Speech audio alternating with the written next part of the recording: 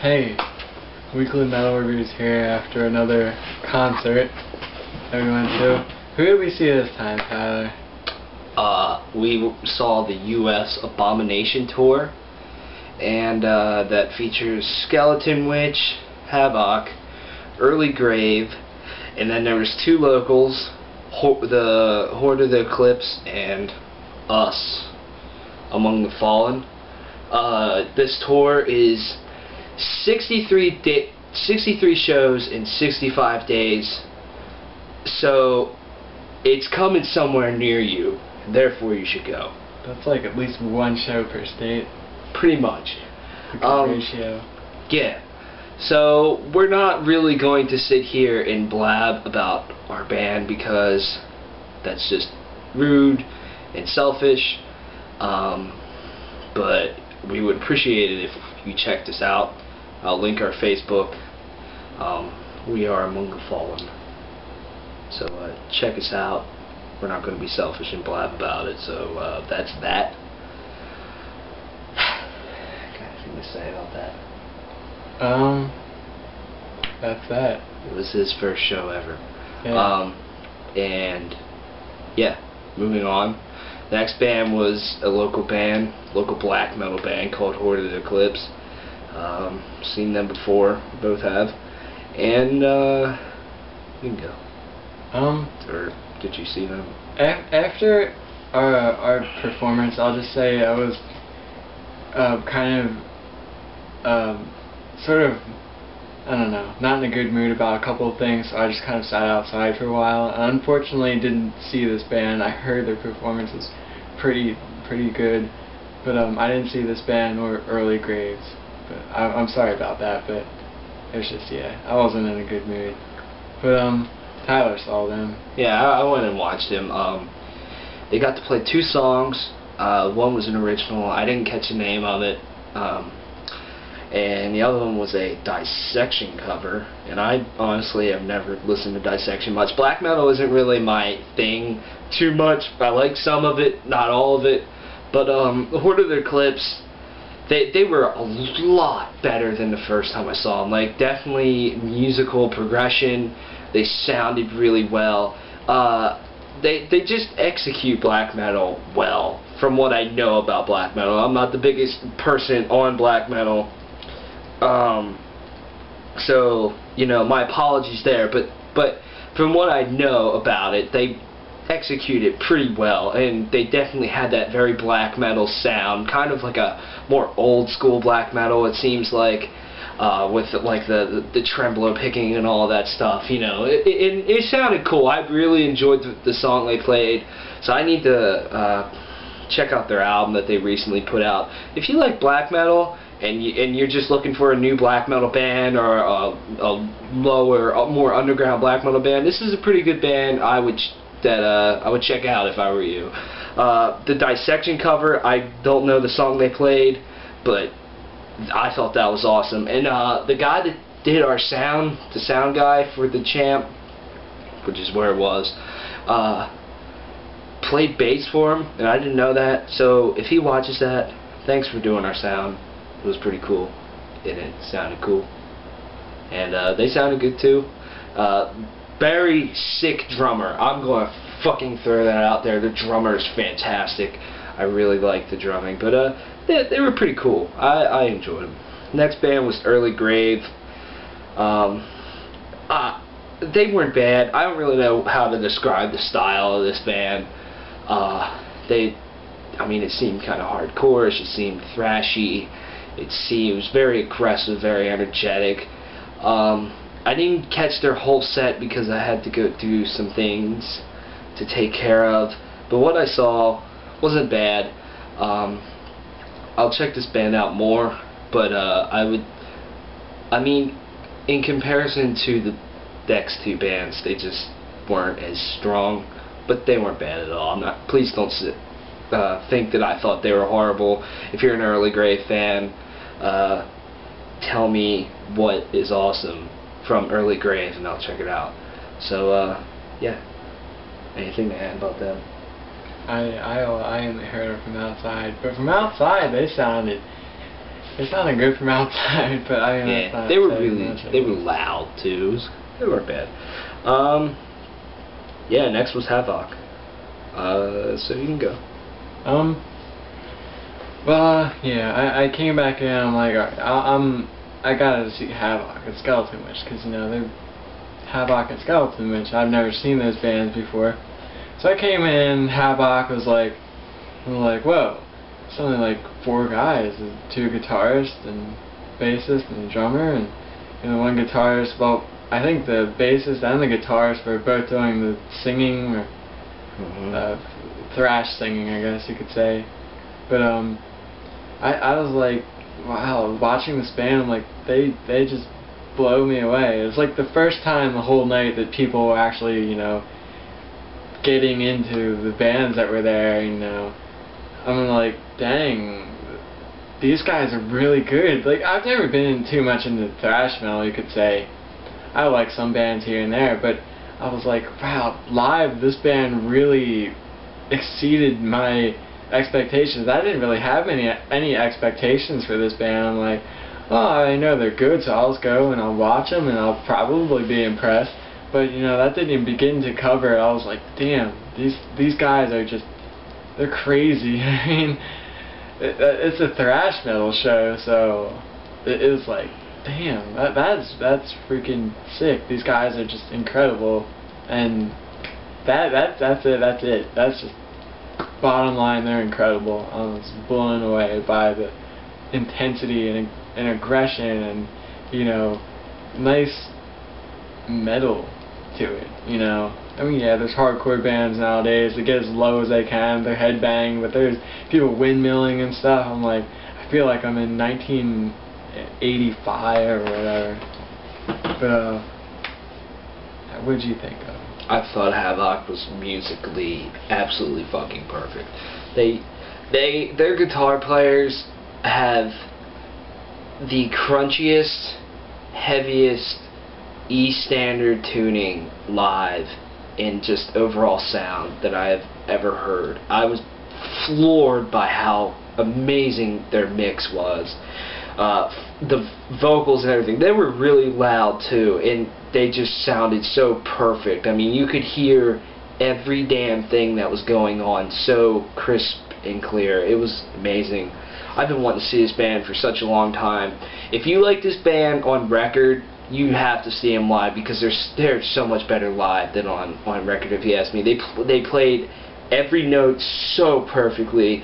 They were aggressive. They were heavy. They were fast. They had energy to them. I mean, the vocals were just superb. The guitar playing was phenomenal. This makes going to the champ worth it, if you ask me. This this this band alone, and I mean throwing Skeleton Witch on top of that just was like icing on the cake. But this was by far the best performance I've ever seen at the champ. I mean, I was I was blown away. This is one of the best uh, new newer younger wave of thrash metal bands, and that everybody needs to check out because this band has so much potential and it's going to be a force in the thrash metal world. So they put on a phenomenal show. And lastly was the headliner Skeleton Witch. So uh, you can go. What exact what genre would you exactly call Skeleton Witch? Black and thrash metal. That they're um I, I don't know. Like when they first came on, I'm like Black well, and death. I saw them. I saw them outside before the, the the whole show began. Really nice guys. It seemed like. Uh, I think I talked to the guitarist, the blonde guy. Um, he, I, I talked to him a little bit. He seemed really, really nice, and you know, it, it's it's cool when guys like that are really nice. But then seeing them, they got up on stage and like their first song, it, their guitar tone, something about it just sounded so like like low and Disgusting. yeah, it was so like I don't know. I was just kind of like after Havok, I'm like, all right, Skeleton Witch, try to impress me after that, you know. And I was just like, like I said, I'm not the biggest thrash fan in the whole world. I mean, yeah, I like Megadeth and stuff, but you know, I go and see fucking Havok and Skeleton Witch, like Skeleton Witch, their whole set was just like aggression the whole way through. Like Yeah. they didn't slow down, not even a little bit.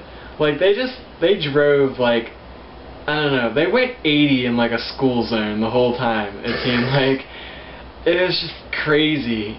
You know, I've never really gone to a full out like thrash metal show like that where you know two bands that are like thrash. Well, yeah, I saw Anthrax and I saw Slayer, Mayhem, but you know, like now I'm seeing Havok and Skeleton Witch at the same night, and like Skeleton Witch was just full out. I don't know. They didn't stop. Like it was just crazy the whole time. Like just crazy what those guys can do, and crazy how they can play so well, and crazy how nice they are. But they played a nice like long long set. Mm-hmm. Uh, probably the longest set I've ever seen at the Champ. Yes. Um, and they deserved it because you know they're Skeleton Witch, they're a big band. Um, but I mean they they played a nice long set and the crowd was into it and it it's just I I don't know how to describe it. It's like I could think of all these funny ass like um, analogies of how aggressive and how cool it was, but I'm just gonna say like it was just uh, it was it's just one of those thrash experiences. It it was thrash, thrash metal. Skeleton Witch fucking dominated. Uh, like Sam said, they never slowed down. It was like pure fucking chaos the entire time. All they did was play like they played. They hardly stopped. There was any breathers in between songs. They, they would just go song, song, song, song, song. It was it was cool. It's like they really just wanted to pack their performance with songs instead of talking, which which is you know cool.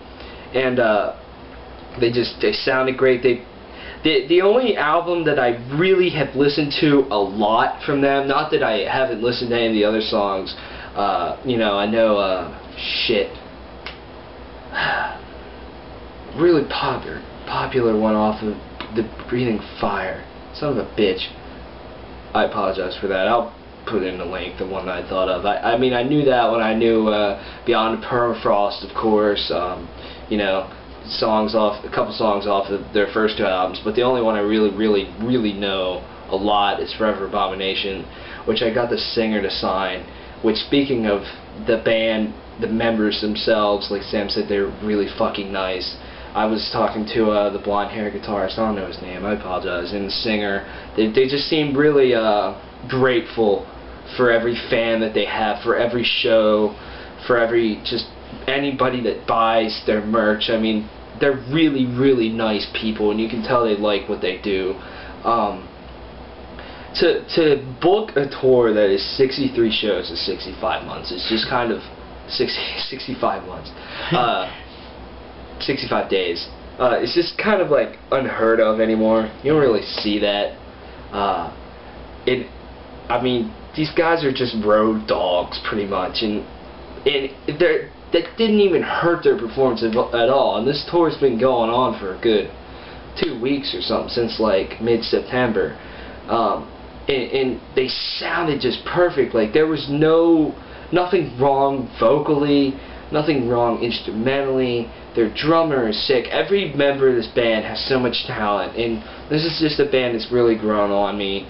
I really, I, I like them a lot. First time I saw them was at Ozzfest 2010, and my mom was there, which is funny because the singer uh, was standing up there telling everybody to smoke weed and eat pussy and stuff. my mom was there, and she was like freaked out. I, I, I couldn't drive then, so that's why she was there.